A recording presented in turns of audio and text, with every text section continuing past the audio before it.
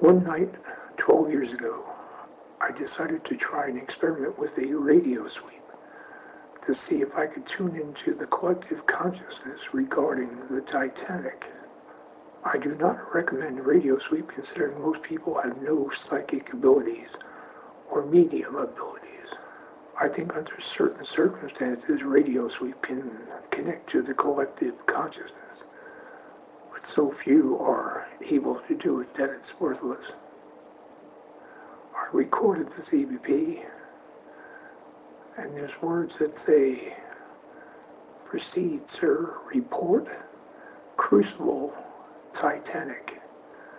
And then when I asked for my name to be said, because there were four Kiernans on the Titanic, a woman's voice said, Kiernan.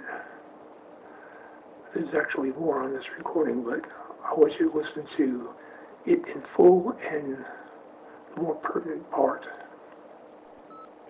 I'd like to speak to some of the passengers on the Titanic.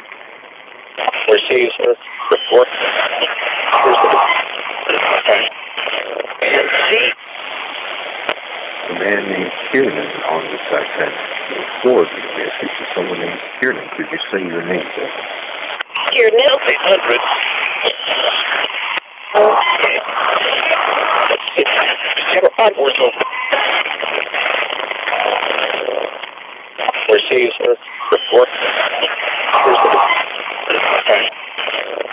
See? A man named Kiernan on the Titanic. Forward me a message to someone named Kiernan. Could you say your name, sir? Kiernan. 800.